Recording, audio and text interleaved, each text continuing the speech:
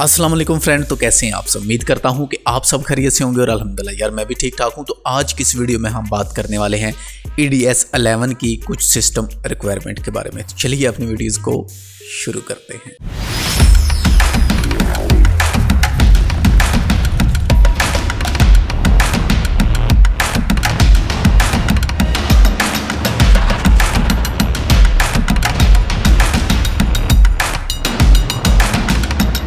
जैसा कि आप सभी को पता है कि जो हमारा ओल्ड वर्जन है ई डी एक्स का, जो कि फ़िलहाल अभी लेटेस्ट है, लेकिन बहुत जल्दी ओल्ड होने वाला है।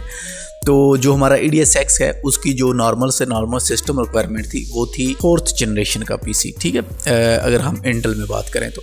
इंटल का फोर्थ जनरेशन का पीसी है, जो उसमें आपका जो ई डी एक्स है, वो इंस्टॉल हो जाता था, लेकिन यहाँ पर मैं कल गया E D S world dot com जो कि ई डी एस की एक ऑफिशियल वेबसाइट है, ये भी वहाँ पर तो वहाँ पर जाकर मैंने ई डी एस अलेवन की सिस्टम रिक्वायरमेंट चेक की तो कुछ चीज़ें थी को मुझे लगा कि मैं आपके साथ शेयर कर दूँ। हो सकता है आप किसी के काम आ जाए, क्योंकि मैंने जो लास्ट वीडियो अपलोड की थी, उसमें काफ़ी सारे लोगों ने मुझसे पूछा है कि, सर सिस्टम रिक्वायरमेंट क्या रहने वाली है? तो यहाँ पर हम सबसे पहले बात करने वाले हैं जी सी पी यू के हवाले से। सी पी यू यहाँ पर जो देखने को मिलता है, वो है इंटल का फाइव जनरेशन का पी सी ठीक है? ई डी एस एक्स में हमें इंटल का फोर्थ जनरेशन का पीसी मिलता था, लेकिन यहाँ पर है जी इंटल फाइव जनरेशन का पीसी है जो वो इंक्लूड किया गया है, और साथ ए एम डी भी है, ठीक है? अब ए एम डी का कौन सा प्रोसेसर स्टार्ट होता है? यहाँ पर इंक्लूड नहीं है, वो लिखा नहीं हुआ यहाँ पर कि ए एम डी का, वरना वो भी मैं आपसे शेयर करता। लेकिन इंटल की जो मिनिमम रिक्वायरमेंट यहाँ पर लिखी हुई है मिनिमम तो खैर साथ नहीं उन्होंने लिखा, लेकिन अगर फाइव लिखा है तो मेरे ख्याल से वो फाइव जनरेशन में ही होगा फोर में आई थिंक शायद ना हो सके। ये एक जिन लोगों ने उस वक्त फोर्थ जनरेशन पीसी लिए थे, शायद ये उनके लिए कोई बैड न्यूज़ हो सकती है, मुझे लगता है। क्योंकि ई डी एस एक्स का अगर हम यहाँ पर देखें ई डी एस जो टेन है हमारे पास, वो है जो वो इंटल फोर्थ जनरेशन पर हो रहा है और जो हमारे पास ई डी एस अलेवन है, वो यहाँ पर इंटल फाइव जनरेशन और फाइव जनरेशन के जो पी सी हैं, वो पाकिस्तान में तो अवेलेबल नहीं है। फाइव जनरेशन के लैपटॉप आए थे पाकिस्तान में, वो अवेलेबल है। मेरे पास खुद आई थ्री फाइव जनरेशन पड़ा हुआ है। लेकिन अगर आप पाकिस्तान में हैं तो मेरे ख्याल से आप ई डी एस अलेवन अगर इस्तेमाल करना चाहते हैं तो आपको सिक्स जनरेशन के साथ जाना पड़ेगा। फोर मुझे लग रहा है कि जैसे फोर की छुट्टी होने वाली है, ठीक है? अच्छा आगे हम बात करें मेमोरीज़ की।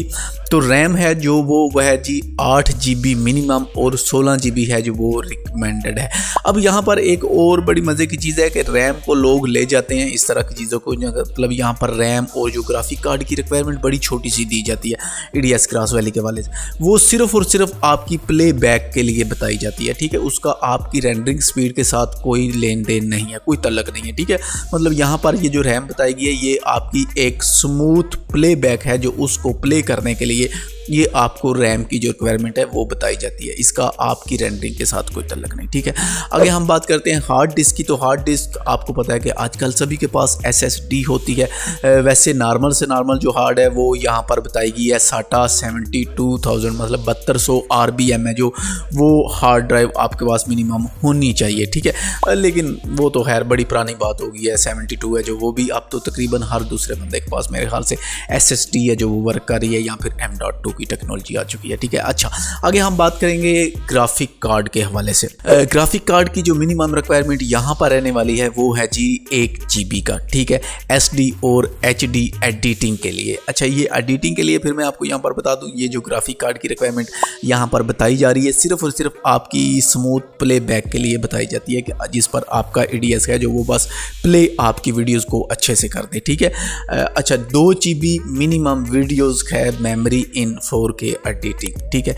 तो ये सिर्फ़ और सिर्फ़, क्योंकि ये मैं आपको पहले भी बताता हूँ E D S cross valley है, जो ये एक ब्रॉडकास्टिंग सॉफ्टवेयर भी है। तो ब्रॉडकास्टिंग अगर आप करते हैं तो मेरे ख्याल से वहाँ पर आपको सिर्फ़ और सिर्फ़ वीडियोस का प्लेबैक ही चाहिए होता है। आउटपुट तो फिर आपको पता है, अगर आपने कभी लाइफ में ओबीएस इस्तेमाल किया तो वहाँ पर आपको पता है कोई चीज़ रेंडर वगैरह नहीं करनी पड़ती। वहाँ पर बस आपको सीन्स वगैरह क्रिएट करने होते हैं और अपनी वीडियोज़ को लाइव कर देना वो आपका एक्चुअली रियल टाइम में ही वो सारी चीज़ें परफॉर्म कर रहा था।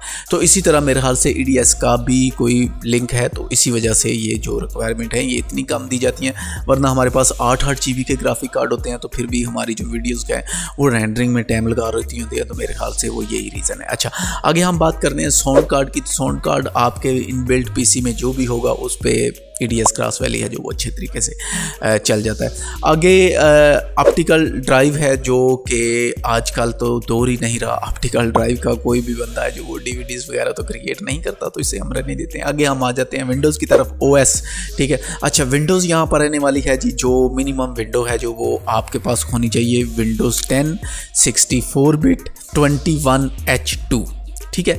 मिनिमम जो वर्ज़न है, वो 21 H2 का, जो विंडो 10 का वर्ज़न है, वो आपके पास होना चाहिए। उस पर आप E D S grass valley 11 है, जो उसको इंस्टॉल कर सकें। तो ये थी सिस्टम रिक्वायरमेंट सिर्फ़ और सिर्फ़ एक ही चेंजिंग मुझे देखने को मिली है और वो है I five generation E D S X था जो फोर जनरेशन पे इंस्टॉल हो रहा था और ई डी एस फाइव अपना ई डी एस एलेवन है हमारा जो, यहाँ पर इंक्लूड किया गया है इंटल की फाइव जनरेशन अब ये फोर पे इंस्टॉल हो सकेगा या फिर नहीं, ये तो इनशाला हम देखेंगे ग्यारह अक्टूबर को, क्योंकि ग्यारह अक्टूबर को ई डी एस है जो वो रिलीज़ होने वाला है तो उस वक्त जो सारी कन्फ्यूज़न है हमारी वो दूर हो जाएगी.